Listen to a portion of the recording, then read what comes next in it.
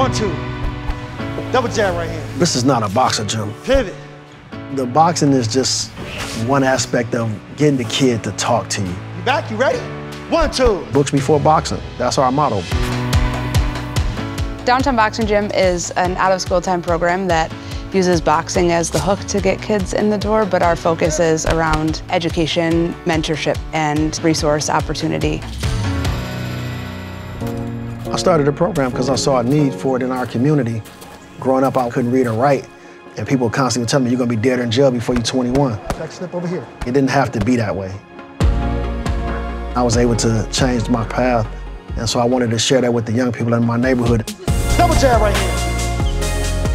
We go really deep with our kids to close the gap in all ways. This program is completely free. We provide everything they need, transportation, dinner and snacks during the school year and during the summer.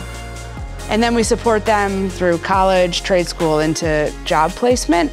We have literacy intervention, math intervention. We have a recording studio. It is really hyper individualized to make sure every kid has the tools and resources they need to be successful. The growth over the last 15 years has been pretty remarkable.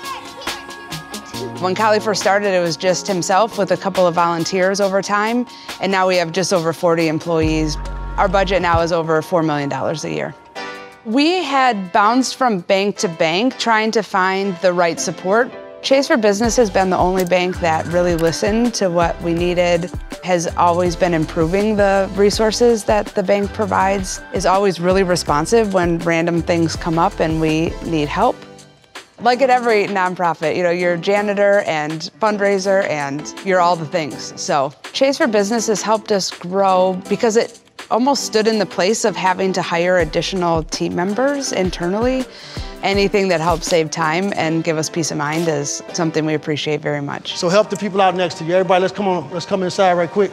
We got 100% graduation rate, but that's just one leg of the journey. We still can't let our guards down. We got to keep working. If you have a community that's uh, lacking resources, lacking education, you know, you're going to get a poverty situation. And so we got to change that course and make sure that everybody's educated, everybody has the resources that they need and opportunities. I see a lot of myself in them. They're at a place where I was, but they're going beyond where I've been.